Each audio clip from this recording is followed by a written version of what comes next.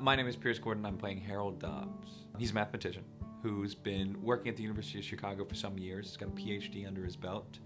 Um, in a great place in his life, but is going through a bit of a rough patch with the loss of his mentor, Robert. This play is about family. Um, your immediate family, and then, of course, the family you choose to bring into your life. It's got its comedic swings about loss as well. There's a monologue of Robert's where he describes the beauty of day to day life intricacies of simple things like riding on a bus and eating at a restaurant. It's just beautiful.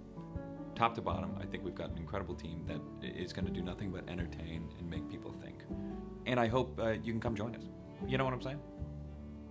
Proof by David Auburn is playing at Ad Astra Theater Company from June 15th, we open, to July 8th. Don't miss it.